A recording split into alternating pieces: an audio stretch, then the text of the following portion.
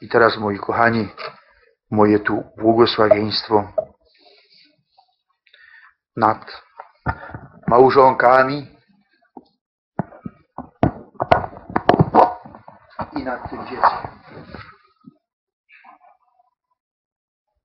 Boże, Panie, Stwórco wszystkich ludzi, Twój Syn mocą Ducha Świętego narodził się z Maryi Panny, spłacił dług grzechu pierworodnego i odkupił ludzkość.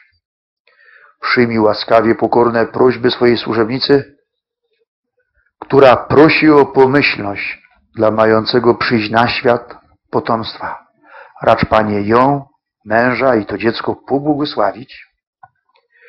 Niech szczęśliwie urodzi swoje dziecko, aby weszło do wspólnoty Twoich świętych przez i przez święte postępowanie zasłużyło na życie wieczne. Amen. Ciebie, ukochane maleństwo, niech Pan szczerze i błogosławi. Amen. I końcowe błogosławieństwo Was, drodzy rodzice. Pan z Wami.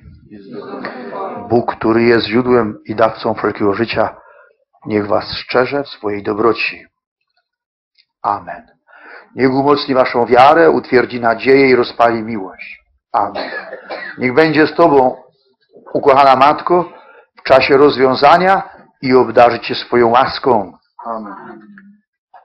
Was wszystkich tu obecnych, niech błogosławi Bóg Wszechmogący, Ojciec i Syn i Duch Święty. Amen.